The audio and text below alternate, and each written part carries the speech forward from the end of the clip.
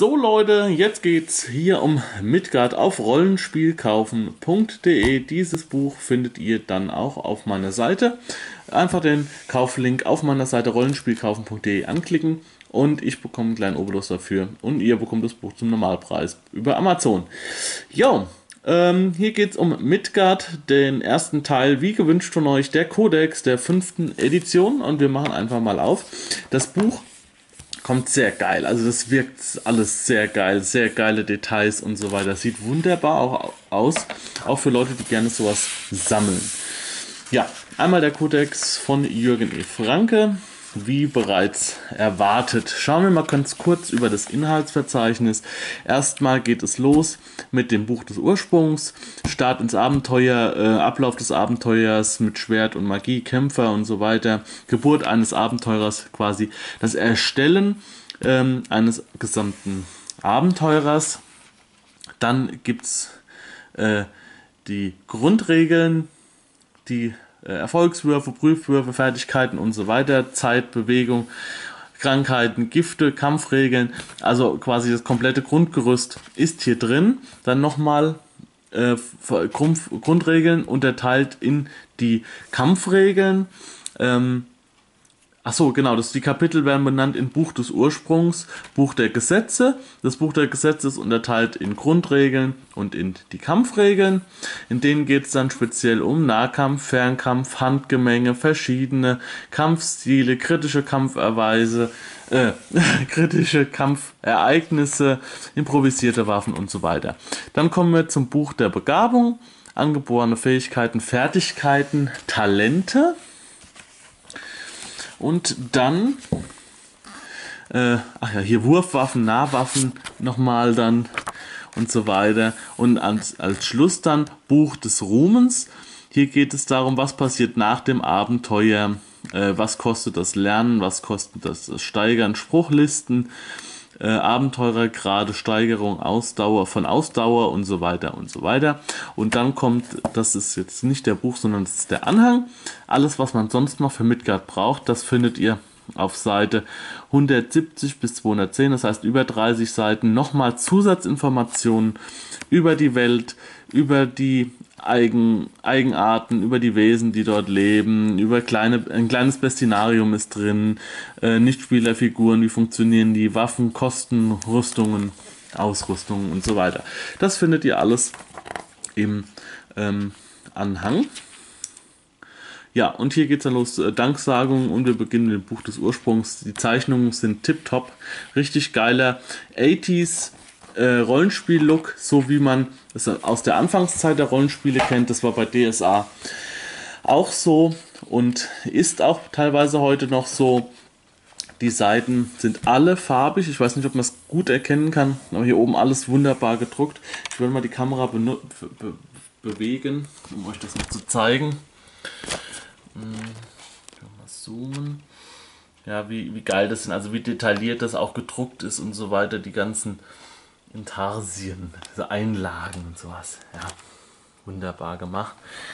Die Seitenstruktur ist auch sehr, sehr übersichtlich, hat mir gut gefallen.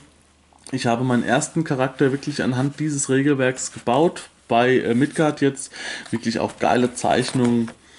Ähm, wichtige Informationen oder Zusatzinformationen findet ihr im Extra nochmal in so Kästchen gerahmt. Hier sind nochmal die Halblinge und und Zwerge gezeigt und so weiter. Richtig geile Zeichnungen, aber auch nicht zu viele, es ist nicht zu voll geklatscht mit Zeichnungen. Hier geht es hauptsächlich wirklich um die Regeln. Und dementsprechend, ähm, dementsprechend äh, ist das halt auch anders ein bisschen aufgebaut. Ach ja, es gibt zwei, was ich sehr gut finde. Zwei Seiten. Äh, Seitenmarkierungen gibt es zum Beispiel beim Star Wars Grundregelwerk nicht mal eine. Finde ich totale Scheiße. So, hier ist nochmal ein Beispiel, immer, immer so äh, herausgestellt nochmal Beisp ein Beispiel Abenteuer der, Abenteurer, der gebaut ist. Wichtige Formeln, wie gehabt, hier in den Kästen. Ja, Kästen. Äh, hier geht es zum Beispiel Erschaffung einer Figur Teil 2, Angriffsbonus, Schadensboni. Das hier und so weiter. Hier geht es dann weiter, was kommt nach und nach. Man kann wirklich das Buch von vorne bis hinten, also sagen wir mal, die äh, Charaktererstellung äh, durch die Kästen, wenn man das weiß, durchgehen und kann dort äh, den Charakter bauen, ohne dann nochmal zu lesen und im Detail kann man dann nochmal nachlesen. Religionen Midgards werden hier kurz beschrieben. Äh, Länder und Regionen werden sehr kurz nochmal angeschnitten.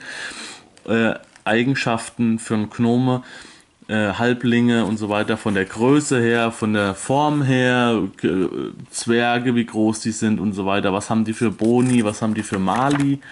Rechtshänder, Linkshänder, Abwehrresistenzen, kennen wir alles. Das hier Ding, das ist so ein, Bu so ein, so ein Bild, das könnte man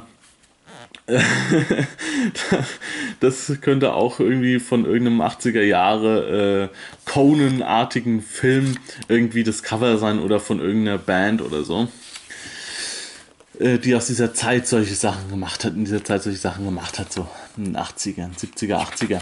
Ja, hier sind jetzt die Lerneinheiten. Äh, das ist neu in dem äh, fünften Regelwerk, dass äh, man nicht mehr äh, Fertigkeitspunkte hat, sage ich jetzt mal, sondern Lerneinheiten. Das funktioniert alles ein bisschen anders, wie man die Lerneinheiten verteilt, wie man sie ausgibt. Und ich finde es auch sauverständlich, ich finde es echt gut gemacht. Hier geht es dann nochmal um Zaubersprüche, unter anderem geht es hier auch um Waffen, die man bei der Charaktereinstellung sich zum Beispiel von Anfang an be besorgen kann. Kostet dann halt gewisses Gold steht auch alles mit dabei, was es kostet und was die für Werte haben und so weiter. Ungelernte Fähigkeiten werden nochmal aufgeschlüsselt. Das sind die Fähigkeiten, die man automatisch als Mensch hat. Oder als Zwerg oder irgendwas. Ja. Dann Zusammenfassung. Erschaffen einer Spielfigur. Das hier ist für mich immer sehr, sehr wichtig gewesen. Seite 47, falls ihr es schnell nochmal nachgucken wollt. Wunderbar, nochmal alles zusammengefasst, von unten nach oben. Es ist nicht alles, aber es ist das Wichtigste, was man braucht. Und dann haben wir auf jeden Fall schon mal die Charaktererstellung passiert und kommen jetzt zum Buch der Gesetze. Im Buch der Gesetze geht es ja dann nochmal in die Regeln rein. Ja? Erfolgswürfe. Was sind Würfel? Welche Würfel werden benutzt? Das ist am Anfang schon, aber hier geht es dann nochmal in die Vertiefung rein. Hier sind nochmal Beispiele. Ähm, Aidan mit den Werten Klettern plus 12 und Abwehr plus 11 soll einen Auftraggeber belastenden Brief zurückholen. Und dann kommt im Verlauf der Erzählung dieser blumig ist, wie er diesen Würfelwurf dann macht, wie er diese Probe dann darstellt. Stellt Widerstandswürfe, Prüfwürfe. Hier ist alles beschrieben, alles wunderbar, sehr, sehr, sehr aufgeräumtes Buch, muss ich sagen. Sehr gut strukturiert, aufgeräumt, strukturiert. Ähm, Bilder an den richtigen Stellen, nochmal, um das alles ein bisschen aufzulockern. Alles wunderbar mit den ähm, mit den Kästen immer. Man sieht auf den ersten Blick, okay, hier ist ein Beispiel, hier sind die Informationen. Wunderbar aufgeschlüsselt, auch immer durchgehalten. Die, ähm, die ganzen Abkürzungen und so weiter werden immer wieder, immer wieder mit LP äh, und, und so weiter und PW und B und was weiß ich, wenn alle immer wieder abgefragt, immer wieder gegeben. Am Ende weiß man die Abkürzungen alle auswendig und muss überhaupt nicht mehr groß überlegen. So, hier sind wir schon bei den Kampfregeln gelandet. Ähm, Kampf ist ja äh, auch ein elementarer Faktor. Äh, Rüstungsschutz haben wir hier nochmal aufgelistet und ähm, Kettenrüstung und so weiter. Hier, das ist auch äh, äh, wichtig, vor allem wenn es um Streitfragen geht. Streitfragen geht, Positionen im Kampf gegen Menschen, über Ecken, gegen Tiere, äh, mit großen Waffen. Hier sieht man hier links in der Ecke ja, welche, was alles betroffen wird von dem Schlag mit einer großen Waffe. Ich spiele zum Beispiel einen Barbaren, der eine große, große Waffe hat und ähm, dieser Barbar, der muss dann aufpassen, wenn er schwingt. Und ich habe das letzte Mal schon fast einen Kameraden damit niedergeschlagen. Mit einem Ogerhammer habe ich da. Ja, ähm, das wird hier nochmal erklärt. Man kann es aber auch nicht beachten man kann äh, vereinfachen, man kann sich das alles so machen, wie man es gerne möchte. Falls man ähm, viele, viele Sachen, die hier stehen, sind einfach von der Logik her zu sehen. Und äh, dementsprechend braucht man viele Sachen auch gar nicht nachschlagen. Bei mir ist es vollkommen logisch, wenn neben mir einer steht und ich habe zwei Hände in der Hand, muss ich aufpassen. Und wenn es es gibt eine Chance, dass es schief geht und die Chance, Chance die es hier äh, gibt, dass es schief geht, wird hier super beschrieben und kurz erklärt. Und dann wissen wir sofort, wie man dieses Problem lösen kann.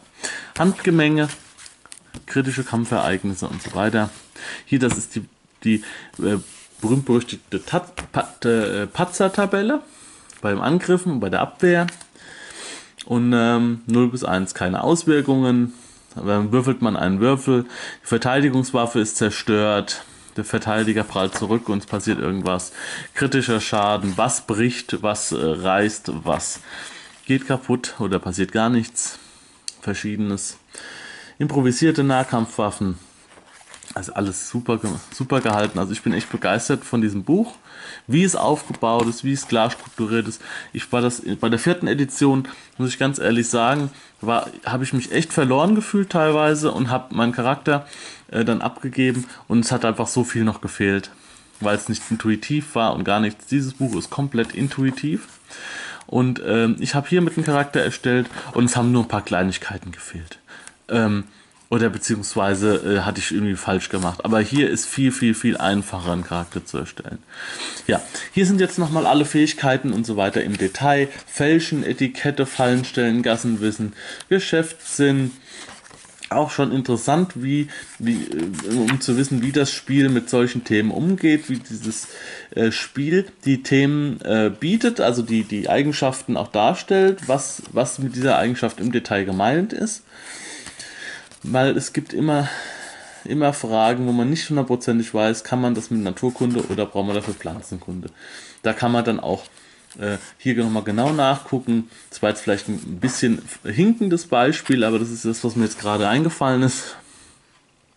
Es gab ne, ah, zum Beispiel, ähm, was ist der Unterschied zwischen Überreden und ähm, Überreden und Überzeugen zum Beispiel, das gibt es bei DSA ein bisschen kompliziert einfach, wird hier halt ganz anders geregelt und ihr findet das alles hier. Wie funktioniert das Stehlen? Wie funktioniert dies? Wie funktioniert das? Das sind Sachen, die man alle hier hinten noch finden kann. Hier sind, hier sind die Waffen. Hm, hier geht's los, Waffenfertigkeiten und dann auch die Waffen noch dazu. Nochmal äh, Waffen, wie, wie handhabt man einen Kriegsflegel, wie handhabt, handhabt man Stichwaffen, Schlagwaffen und so weiter braucht man eine gewisse Stärke oder nicht, steht auch immer hier dahinter. Ähm, zum Beispiel für einen Wurfpfeil brauche ich auf jeden Fall Geschicklichkeit 31, sonst bin ich so ungeschickt, dass ich das nicht tun kann. So, und jetzt sind wir schon durch fast. Jetzt kommen wir zum Buch des Ruhmes.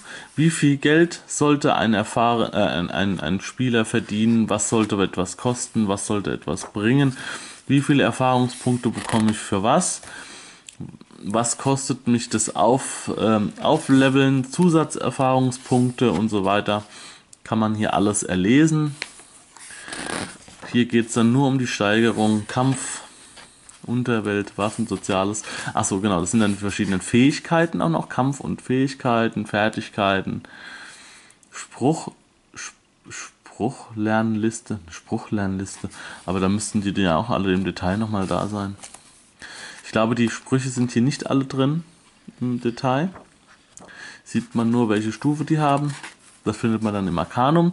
Findet ihr auch hier auf dem Kanal und auf meiner Seite rollenspielkaufen.de findet ihr genaues dazu. Anhang, ja, Anhang, ich bin immer ein Fan von Anhängen.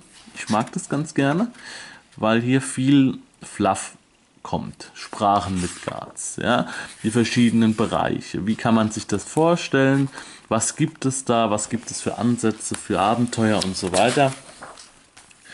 Äh, die Heimat der nichtmenschlichen Völker. Nochmal zu den nichtmenschlichen Völkern. Ich habe mir dann auch mal einen Halb Halbling gebaut. Nee, ein Gnome war es sogar. Und ähm, das war auch ganz interessant. Hier haben wir noch ein paar Wesen dabei. Da ist wirklich vom Adler bis zum Echsenmensch ist hier alles dabei. Ein Kobold, Hai. Ähm, und für alle, die sagen, oh, da ist aber nicht das und das Vieh drin und so weiter, das brauche ich ja unbedingt. Ihr findet zum Beispiel, meinetwegen, ich sag mal so, euch fehlt ein Zentaurer. Ich will einen Zentauren einbauen, aus dem Grund XY. So, dann würde ich mich einfach hier hin, hinsetzen, nehme mir dieses Buch zur Hand nehme mir äh, meinetwegen hier die Werte von einem Minotaure und ich suche mir die Werte von einem, hier ist zufällig der Minotaure und ich suche mir dann das Wert von, den Wert von einem Pferd und dann kombiniere ich diese Werte einfach so, wie es mir passt. Die Kampfwerte vom Minotaurus vielleicht ein bisschen schwächer und die Reitwerte und, und Geschwindigkeit und Last und so, das nehme ich alles vom Pferd Und dann habe ich doch das, was ich will. Ja, es muss ja nicht hundertprozentig sein. Wenn es ein bisschen zu schwach ist oder zu stark ist, dann muss man das halt während dem Spiel ein wenig zurechtbiegen. So, ja. Hier geht es dann nochmal so ein bisschen um Chemie und sowas, sehe ich jetzt gerade. Silbern, Fesselwaffen, Kettenwaffen und so weiter. Schleudern, Parierwaffen, Schilde. Also hier geht es dann jetzt nochmal, was das wiegt, wie viel das kostet, damit man ja auch mal weiß, wie man was einschätzen kann und vor allem, ob ich jetzt für einen Auftrag 150.000 Goldstücke geben muss oder nur 5. Hier ist nochmal eine Übersichtskarte, klein aber fein, alles was man braucht und natürlich der Index, quasi das Google dieses Buches, auf welcher Seite ich irgendetwas finde. Und ganz, ganz zum Schluss findet ihr nochmal hier unten den, ähm, die Information, dass ihr dieses Buch, wenn ihr das kauft, was nicht sehr teuer ist, ich glaube 30 Euro kostet das Buch, was nicht zu viel ist, für so ein geiles, es ist wirklich gut gemacht, äh, findet ihr halt noch die PDF-Version und hier hinter diesem Blatt ist ein Aufkleber mit meinem Key, wie ich dieses Buch als PDF mir runterladen kann. So, ich mache hier wieder die Fäden rein. Also, Midgarder Codex, ihr habt jetzt einen Überblick gehabt, was euch erwartet. Als Fazit kann ich nur sagen, dieses Buch ist sehr gut für Einsteiger geeignet. Es ist sehr strukturiert, es ist sehr ordentlich, es ist geordnet und man hat genau das, was man braucht zur richtigen Zeit. Es ist verständlich. Ich bin kein Mathe-Genie und habe es trotzdem verstanden, wie alles so zusammenhängt. Die äh, Formeln sind gewohnt tief, äh, um, um äh, Charaktere zu erstellen, wie es bei Midgard auch ge äh, gewöhnt ist. Aber es wird euch alles erklären. Ich kann zu dem Buch sagen, es ist auf jeden Fall wunderbar zu kaufen. Kaufempfehlung auf jeden Fall von mir. 210 Seiten hat das Buch. Sieht einfach echt geil aus. Da können sich die Leute von Ulysses echt warm anziehen. Und ähm, dieses Buch jetzt hat so viele krasse Details.